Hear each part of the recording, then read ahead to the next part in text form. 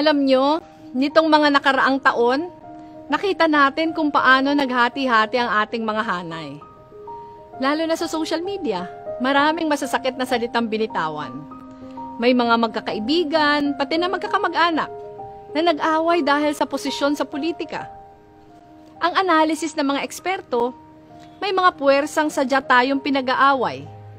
Dahil kapag watak-watak ang Pilipino, mas madaling maisusulong ang personal na agenda ng mga puwersang ito. Ano man ang dahilan, hindi maikakaila. Nagkasakitan tayo. Nasa ang panig ka man, gaano man kasigurado sa paninindigan mo, may nakasakit ng kapwa. Panahon na. Tayo na ang magsimula. Lumapit sa mga nakaalitan.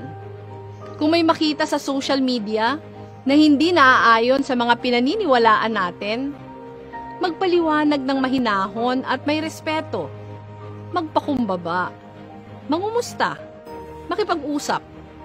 Hilumin ang mga sugat. Buksan muli ang landas ng pagmamahal. Ipaalala ang katotohanan. Hindi natin kalaban ang ating kapwa. Iisa ang pinagdadaanan natin. Iisa ang mga pangarap natin. At iisa ang landas tungo rito.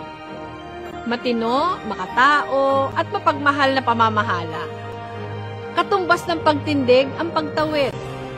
Hindi ito magiging madali. Pero ito mismo ang ibig sabihin kapag sinabi nating radikal ang magmahal. Pipiliin natin ang tama. Lalabas tayo sa nakasanayan. Ito mismo ang diwa ng paglaban. Miyerkules na ulit bukas, pwede na natin gawin ito habang suot ang pink na kulay ng pinapangarap nating bukas. Maraming salamat. Inaasahan ko kayo